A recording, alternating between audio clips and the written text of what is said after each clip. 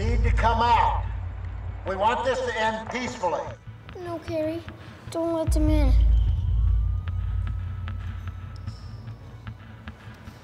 If anyone comes in the building, I blow it! Do not screw with me! You don't want this kind of trouble, Carrie. Just please let me talk to her. She'll listen to me. Just please let me speak to her. Oh, I think you've done enough. This vigilante group of yours is gonna get everyone killed. That's my son in there! That's my son! I gotta get my son! Get him in the car now! No! Everyone hold your fire! Marty! Get back here! How did I get here? Can't believe you just. You just given up on us. I'm not doing this anymore. God damn it, Carrie.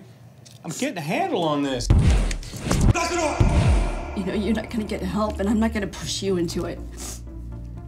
I'm done. I don't need any fucking help. Stop! I can't believe you're having me do this again. I want to process and out of here now. Yes, sir. I'm not bailing you out again, Marty. Pretty sure that's what he said the last few times. I heard that, Barnes. Processor.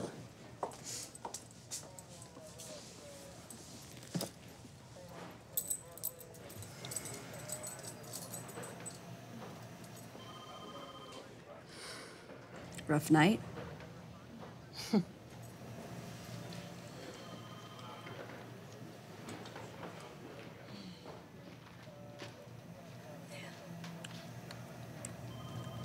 You all right? Yeah. You should see the other guy. We run a group called the LCO, The LCO. the Last Chance Organization. We specialize in removal and relocation, From what? domestic violence. Jesus. So how do you do it? There are just too many of them. One person at a time. Let's see what we've got here.